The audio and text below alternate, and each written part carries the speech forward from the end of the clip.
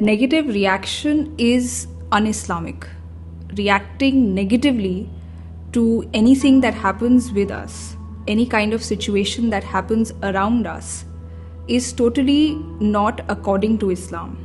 Because one of the fundamental teachings of Islam is that any kind of a negative response, any kind of a negative reaction, a retaliation to anything which we find very unpleasant or very untoward will only lead to counterproductive results. It won't lead to anything of benefit.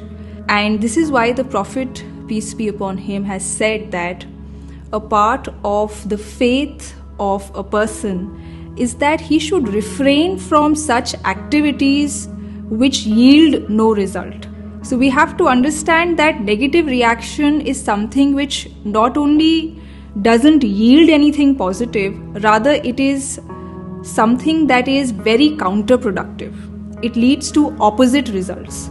So we have to very sedulously, very cautiously refrain from all such activities or all such statements which create negativity in society.